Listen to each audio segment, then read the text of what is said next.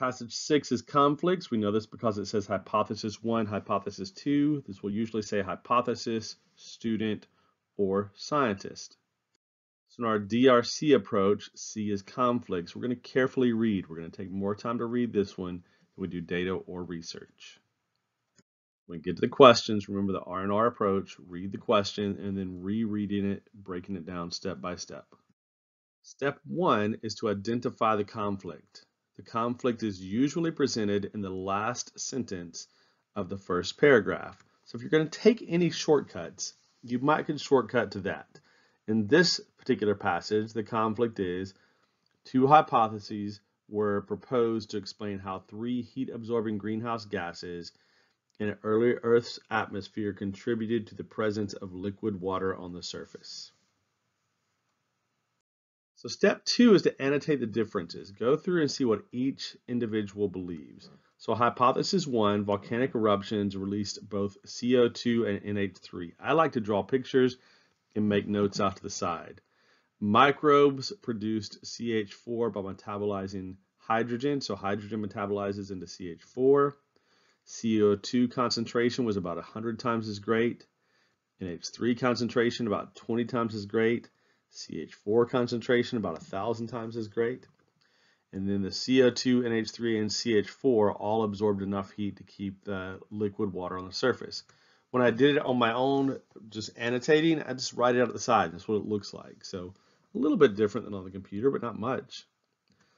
Hypothesis two, CO2, NH3, and CH4 were due to volcanic eruptions. That's different than hypothesis one, which only had CO2 and NH3.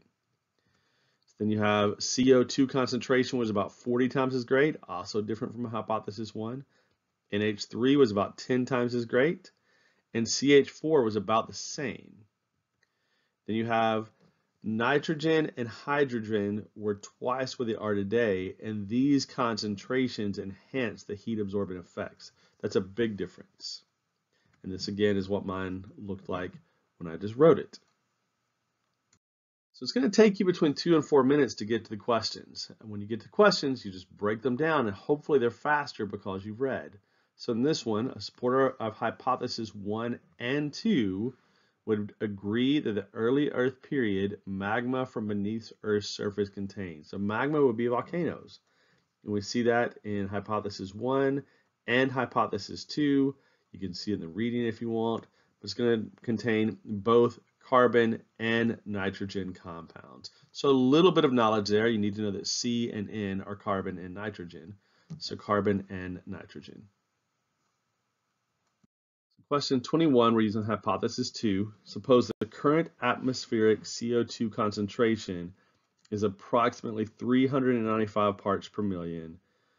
The atmospheric CO2 on early Earth was most likely. Okay, so we know that in early Earth, CO2 was about 40 times more. So 40 times about 400 is about 16,000, or choice B. When I answered this one as the only one I got wrong, is I looked at the wrong hypothesis. I went to hypothesis one, which says CO2 is about 100 times more, and I answered C. So the first time I did this, my, my annotations first time, I got it wrong with choice C. And it was a silly mistake. I just didn't put my finger on hypothesis one. So that's important. Which of the hypotheses indicate that two additional gases were necessary? Well, we saw that in hypothesis two, where nitrogen and hydrogen were both needed. So hypothesis two. It's a pretty easy one if you understood the reading. Regard to CH4 and early Earth's atmosphere, which of the following statements describes the difference between hypothesis one and two?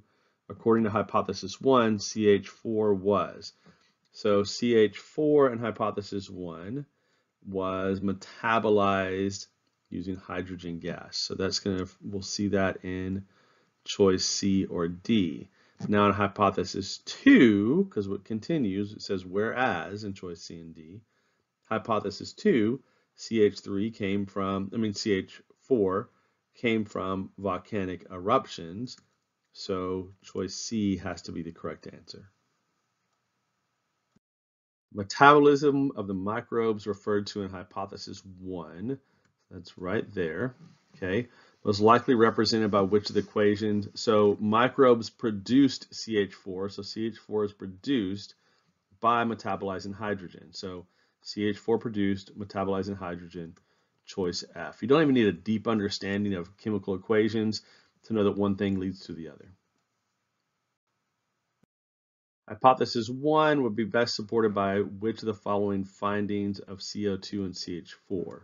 So we're looking at hypothesis 1. Let's break down the choices. Answer A said CO2 is 20 times. Nope, that's 100 times more, so not A. Um, CH4 was 20 times. No, CH4, that's a 1,000 times, so that's wrong. And then these last two are both looking at CO2 produced by microbes or CH4 produced by microbes, and it's CH4, so your answer is D. Suppose that if Earth's atmospheric NH2 concentration were increased, the atmosphere would scatter the sunlight, resulting in cooler temperatures. This would weaken which of the hypotheses. So if N2 increases, it equals a cooler surface. Which one would disagree with that? We see in hypothesis 2, we remember this if we got the earlier questions right, that an N2 concentration was necessary, so it would weaken hypotheses 2, so G. Here's our answers so you can double check. 20 is H, 21B, 22G, 23C, 24F, 25D, 26G.